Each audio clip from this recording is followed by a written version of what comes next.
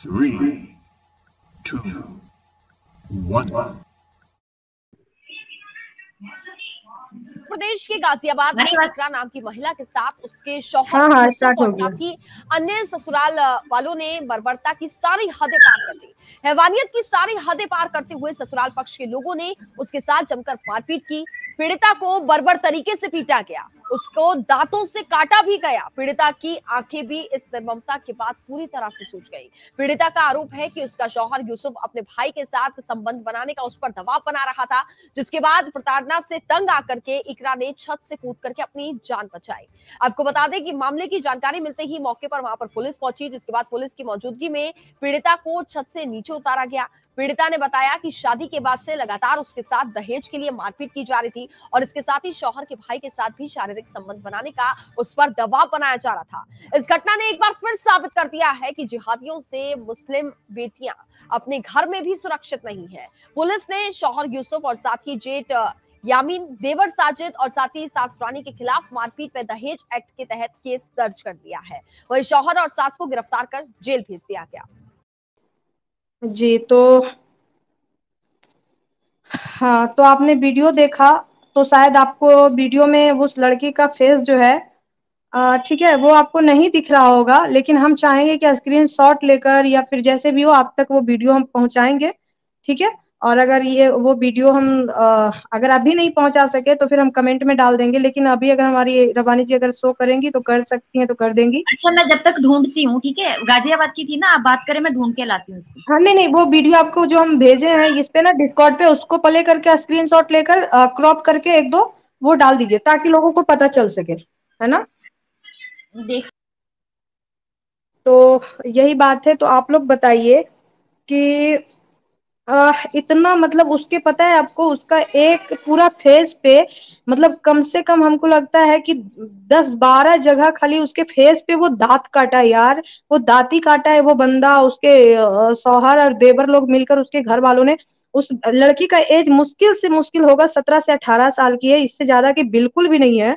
वो लड़की हमको लगता है अठारह भी मेरा बोलना गलत ही होगा। ठीक है? अ, ये क्या बोल रही है? मुस्कान सब सब पैसे तो स्वर पर स्वर पर लुटा दिए। दहेज तो मांगेगा ही। यार ये हंसने वाली कोई बात नहीं है बहन। क्योंकि क्या बोलना? तो मतलब उसको उसके फेस पे कम से कम गाल पे नाक पे आँख के पास ये मतलब ये कुत्ता जात के थे ये पहले इन, इनका इनका जात कुत्ता में था या फिर भेड़िया में था? भेड़िया कुत्ता को भी हम अपने साथ रख सकते हैं और अच्छे प्यार से रखते हैं और वो हमारे साथ अच्छे से रहता है है ना? ना कि इतना हरमपना करता है इतना इतना बेगैरत इतना दरिंदगी पार नहीं करता है ठीक है? और इसके पूरे बॉडी पे पूरे बॉडी पे कम से कम हमको लगता है पूरे बॉडी पे इसको इतनी दांतें काटी है उन लोगों ने इतनी ज़्यादा एकदम काट के खा गया है यार बेचारी को हर जगह से वो चुभा हुआ दांत दिख रहा है। मतलब इतना दरिंदा इतना बहसी इतना जानवर कोई कैसे हो सकता है? और वो इसलिए हाँ और वो इसलिए रबानी जी वो इसलिए कि वो उसके भाई के साथ संबंध नहीं बना रही है। छी! घिन आता है मुझे ऐसी मतलब यार यार, एक होता है हद होती है। मर्दानगी और इंसानियत नाम की चीज़ नहीं ना उनको उनके तो सब नॉर्मल है। माँ शेयर करते हैं बहन शेयर करते हैं तो बीवी तो फिर दूसरी जगह से आई है भाई। उसको क्यों ना शेयर करेंगे? इतने गंदे लोग हैं ये।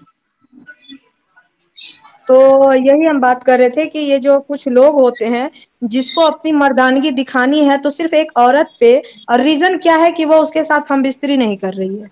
वो अपनी वो अपनी मर्ज़ी से किसी के साथ हम बिस्तर होना नहीं चाह रही है। बस रीजन ये है और उसको इतनी बुरी तरह से काट करके ये लोग खा रहे हैं।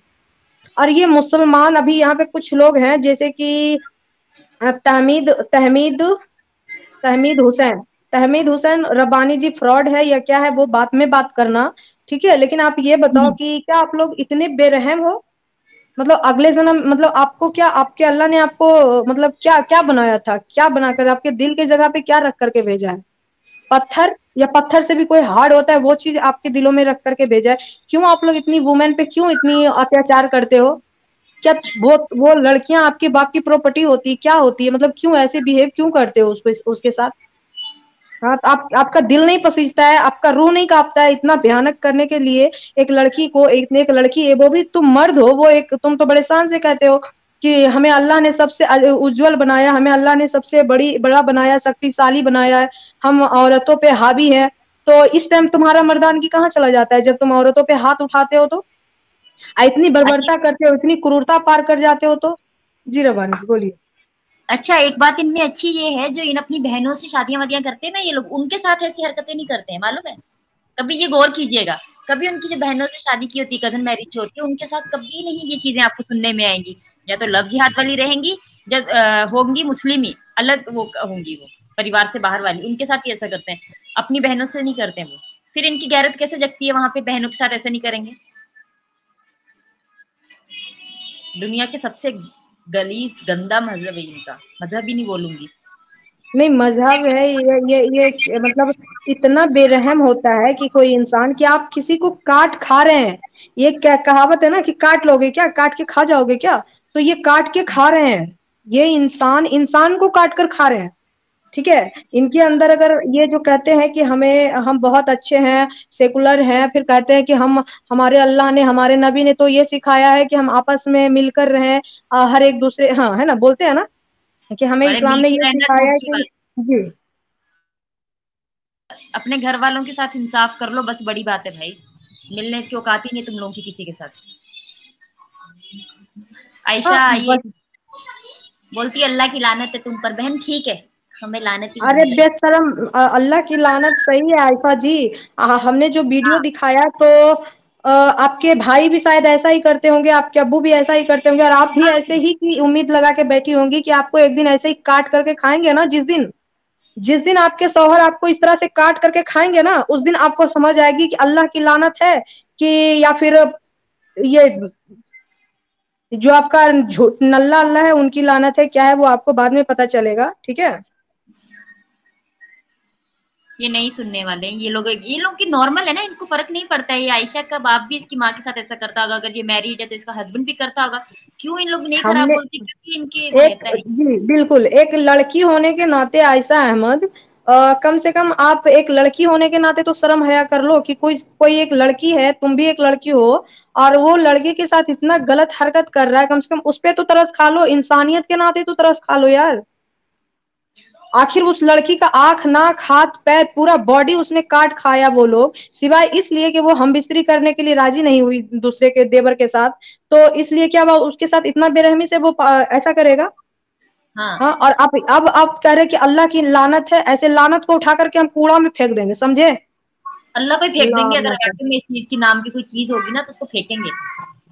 क्योंकि जो जो जो अल्लाह ऐसा सिखाता है कि अपनी बीवियों को मारो, अपनी वाइफ को मारो उनको इतना मारो, ये करो, वो करो तो ऐसे लोगों से ना दूर भागना चाहिए, ठीक है?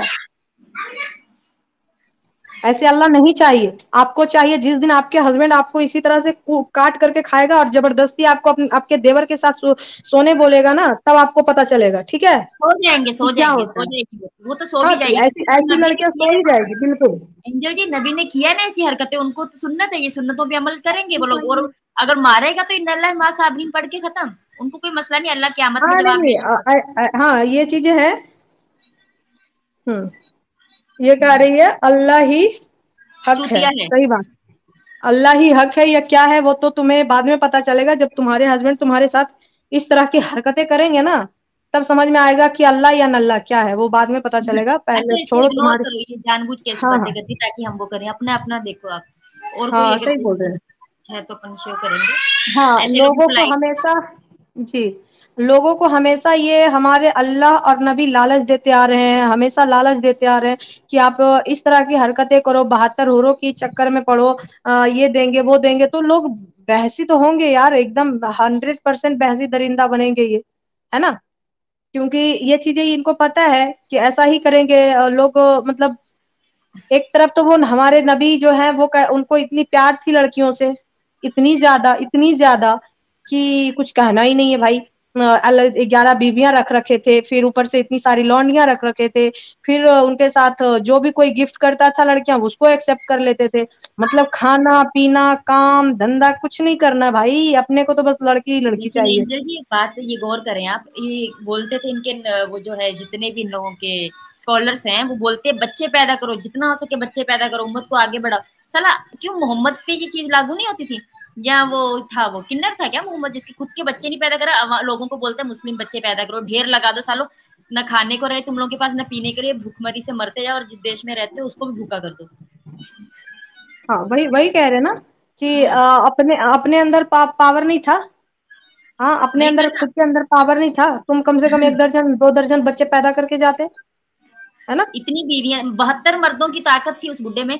फिर भी तुम ये सोचो कि एक बच्चा नहीं पैदा कर सका लख की लानत है। वो भी खतीजा के थे? वो भी मुझे लगता है खतीजा के पहले शोहर के बच्चे होंगे इसका तो होंगे ही नहीं। बिल्कुल बिल्कुल सही बोल रहे हैं। सब सब sub, sub, सबर कराए Sabara सारा कब वट whatever.